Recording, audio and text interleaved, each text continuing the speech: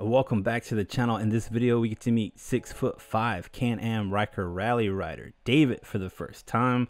We get to hear a little bit from him about what it's like being a big old guy riding on a Can-Am Ryker. On top of that, a little ride video. We got Ryan with us on his Can-Am 600, me on my 600 and the new rider David on his rally. We end up going to a little fuel up spot at the QT and run into some Spyder riders. And then we get to meet this little gem here, and that's an interceptor, like a police interceptor model of a Can Am Spyder. So really cool getting to see the style and stuff on these Spyders. We don't get to see a whole lot of them. So it was real cool and a crazy coincidence running into them. Uh, on top of that, uh, we get some cool rings sent from us from Rad Racing, followed by an unfortunate event of me getting the dreaded VSS fault error Thrill Mouse Moto. Yo, dog. Hell yeah. What was your name again? David. David? Yeah. David. You tall as f- dude. How you like riding the rally being super hella tall? I like it. Yeah. It's pretty nice. Homeboy was like, you ran it one uh, a couple weekends ago, and his knees are like, Oh yeah. I, I always hit my elbows. with your knees. Yeah. Yeah. I kind of I, I adjust a little bit. It's you know I'm six foot five man. So, Six five. Yeah. Well, you know that's a question a lot of people ask. People are like, you know, I'm tall, Yeah. and uh, is would one of these work? And you're saying the rally, you get through. You can get through for sure. Yeah. Um. Uh, if you hunch, you know, over sometimes it'll you'll it's a little uncomfortable, but most of the time I'm fine. I like it. What about with the uh, handlebars? You ever think that maybe you'd want to change it up? Well, really, you want it further away, don't you? With you being taller. What's up, man? Good to see you. How you doing? Mhm. You made it. Yeah, wow, man. There's like a lot of little changes. Everything is stock, yeah. Yeah, yeah, yeah. Having the uh, protector there. I thought that was interesting. Yeah, it's just crazy because like I've always said this and stuff before. Like everything that we do to it is like should be stock. You know what I mean? so it's like putting a grill on to protect my radiator that doesn't cost anything should be stock. Putting something in front. I know this isn't like 100% full protection, but it's something. It's that they recognize that it needs to be. So I had to buy aluminum one, you know, or like the shocks. Yeah. So with the rally, you get the max mounts, Yeah. and they put this on there too, mm-hmm. right?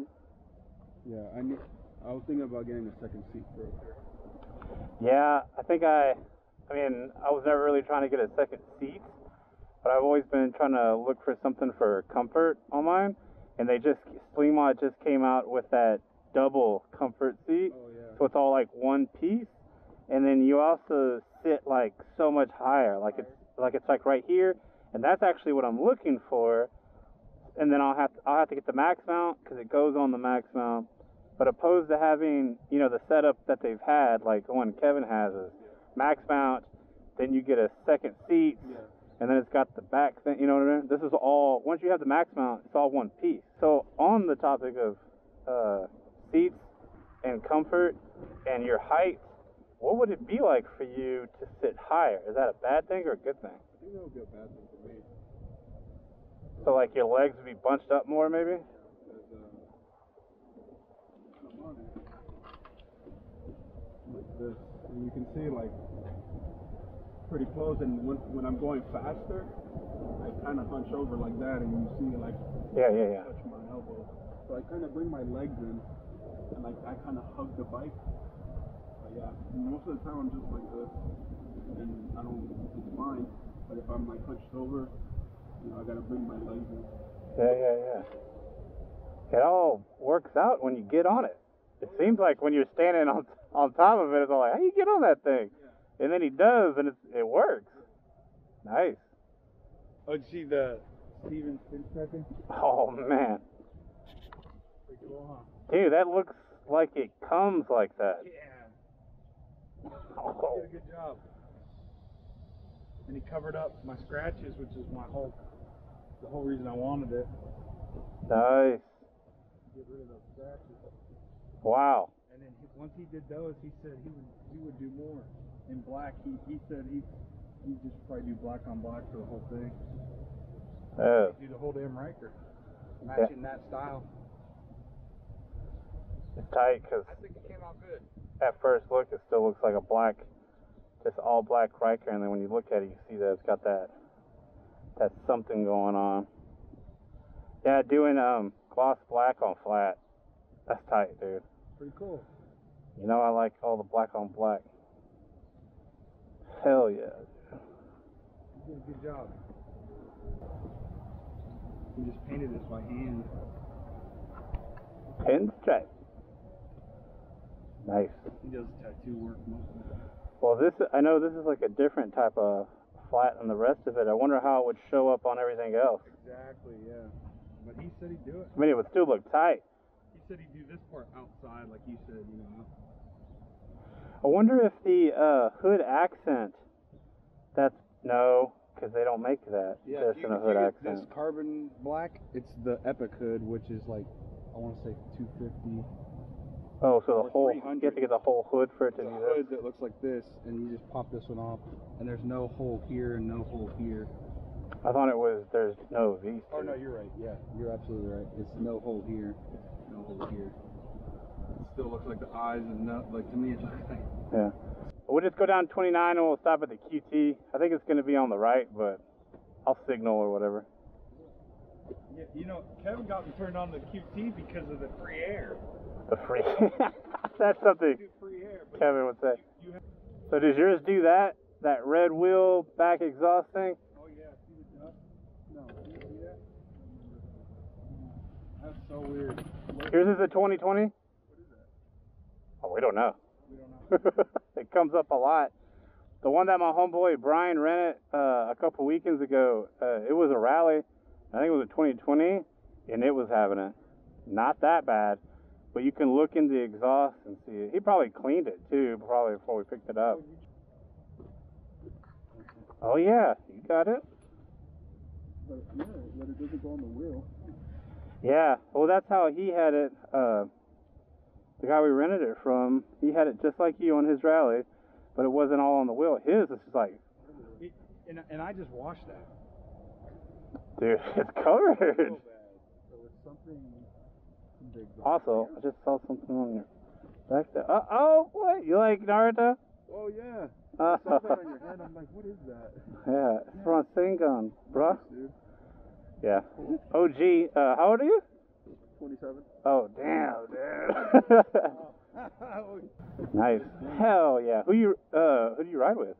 Nobody. I have a friend that has a Triumph Uh huh. motorcycle, but I, you know, me and him just chill and ride together. Um, He's a friend or someone you met through bikes? no, he's a friend. I've Oh. forever. Dude, we've learned that that's that's like the key. Not knocking people we ride with that weren't friends before bikes, but uh, Yeah. riding with friends. That happen to have bike. You know what I mean? That's like, just like the- yeah, friends. Friends are the best. Friends and then friends that have other friends. They make them pretty much friends, where everyone can communicate honestly. You know what I mean? And be like, you know, hey, let's stop. And like, like if you were like, hey man, I want to stop right here, we'd just be like, whoop. Not like, well, we'll just go on ahead. You know what I mean? yeah, there's a lot of people that wouldn't just stop. Yeah, see, that's group riding. We've learned that group riding is not what's up. Riding with like your legit crew friends, you know what I mean? That's that's been fun. Oh, those are the stock lights even, man. We gotta get him hooked up. Oh yeah, right? Dang it. That's number one.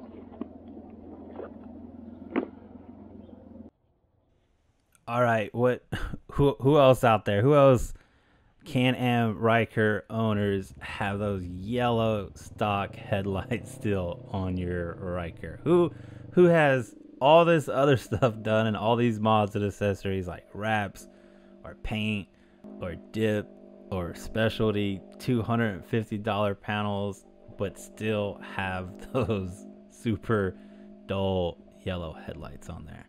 I'm gonna put you on blast on there because it's actually not that crazy of a mod, and it's a really uh, it's a it's not so bad one to do by yourself, and it's not that expensive. But Major improvement if you do ride at night and you ride down roads like the ones we're riding on right now, uh, where they're just almost like county roads with a lot of stuff. But look at this cat, dude. I mean, he doesn't look bad. You can tell he's a lot taller uh, than most, so you can see just in comparison to Ryan there, because Ryan's not short. I want to say he's six one, uh, or maybe a little bit, a little bit more than that.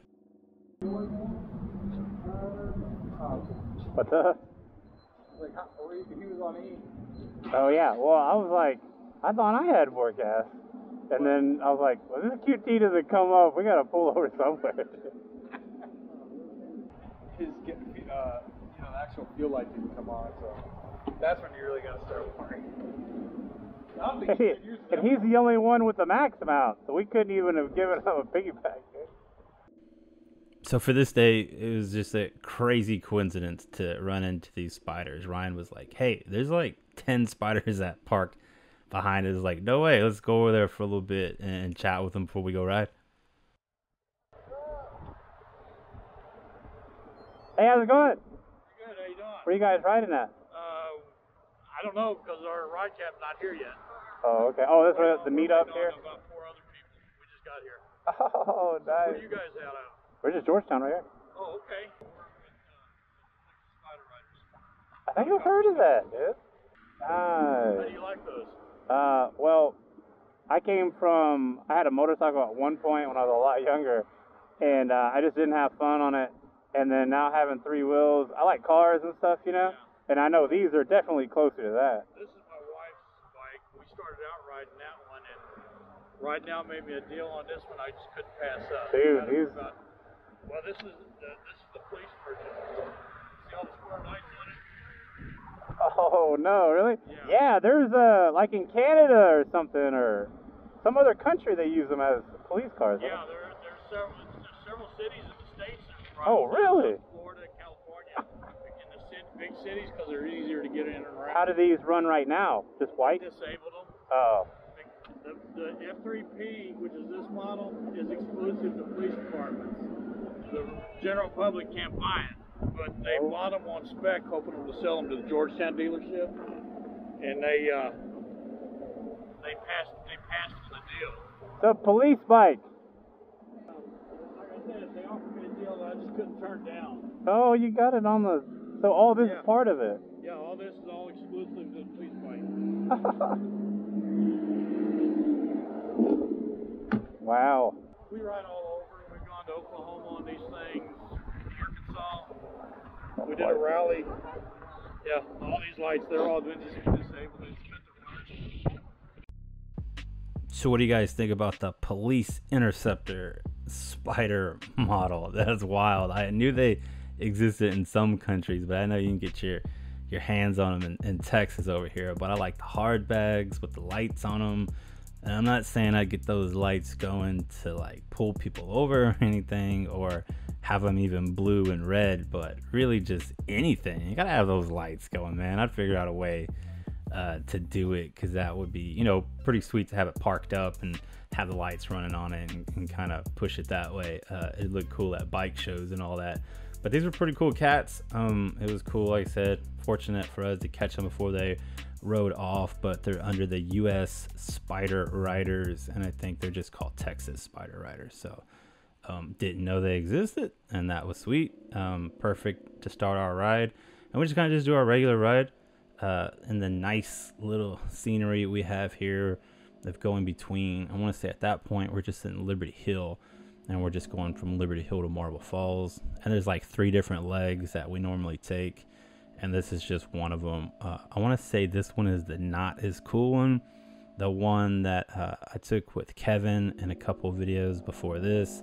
Which was still a long time ago, because this this video was um, done when it was a little bit cooler out too. But everyone was having fun. You can see the other bikes out there.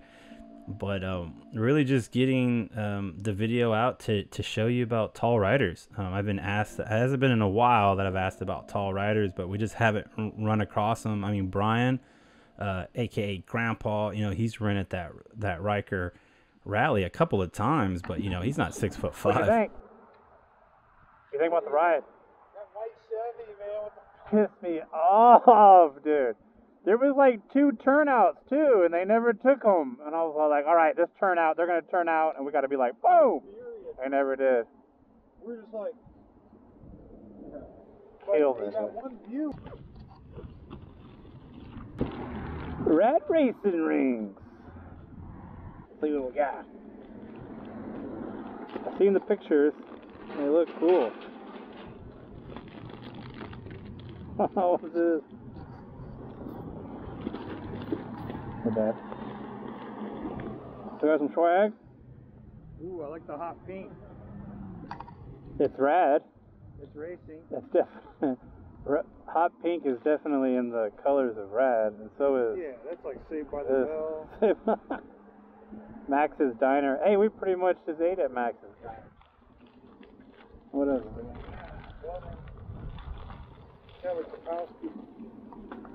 Stickers. You can't get more rad than holographic, too, on top of that. Hell yeah. And then the rings himself. Oh, man. That red matches this rad Chiquita banana. It does. Because we are rad. That's, what we're working with these guys. Silicone rings that look like tires. Like Ryker tires. Oh man. So these are the different colors here. What's your new David? Which one are you trying to do? Uh, green is my favorite color, so I'll take this one. That's like a green uh the fit? Yeah. Nice. Wow. What about you, Ryan? What are we doing here? Oh, boy, they're all really cool. I mean, they're all rad. Uh, I'd probably do the black one, Do it. unless you called that one. Nope. That's the Because most I got a black leather jacket. That's the most tire tire one. It's like oh, this says Rad Racing on the side of it, like a like tire letters with the tread.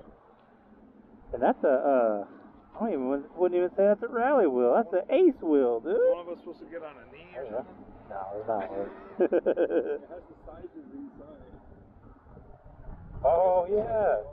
Oh, even 12. in yeah, even in this, these are size 12. Boy, that even must said. Rad Racing in here. Rad Racing. And then they also have tire letters on the side here. on one of them. Wow. Nice, that's I legit. feel like I could punch harder.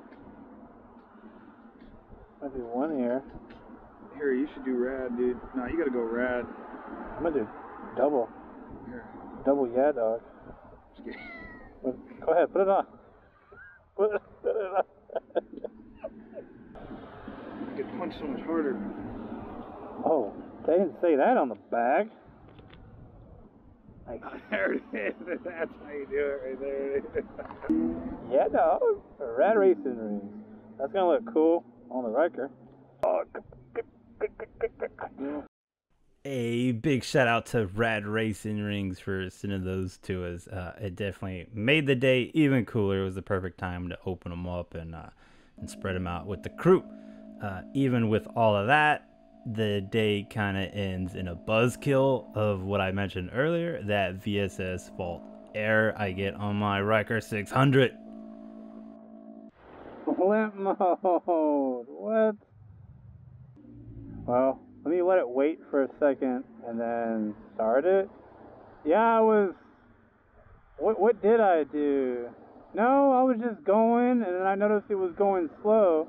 It went in limp mode, and then I tried to go some more, and then it would only go 40, and then it was just blinking the uh, check engine light. Yeah. What the hell could it be? I'm gonna turn it off for a second and then start it back up again. No, it still says it.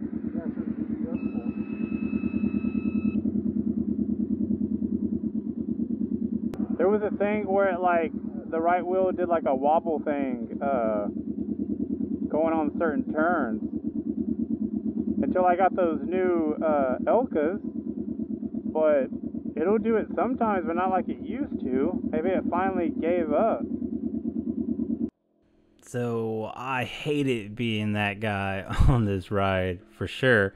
Um, we actually weren't far from home on, on top of that, so it wasn't too bad.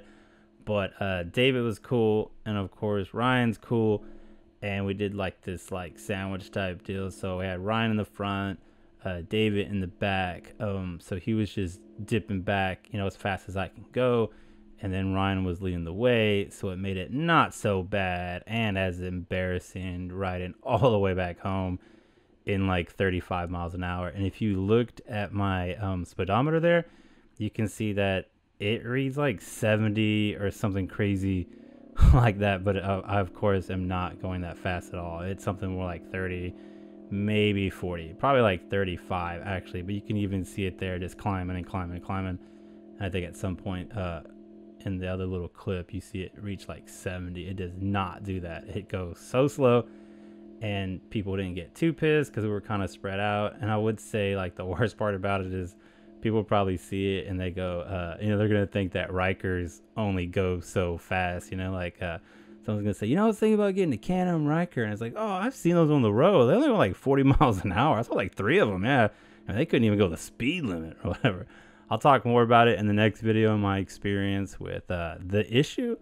Um, thanks for watching. Remember, we're we're getting close to 2,000 subs, and on July 6th, it's the mouse's first birthday. So I'm going to be super stoked if we can hit the 2,000 uh, subscribers by that point. I appreciate you guys watching. Thanks. If you enjoyed this video, please like and subscribe to Thrill Mouse Moto. I was paid to say this since Barry said he felt kind of weird asking. He also wanted me to say Baja Blast slams and yeah dog, Thrill Mouse Moto.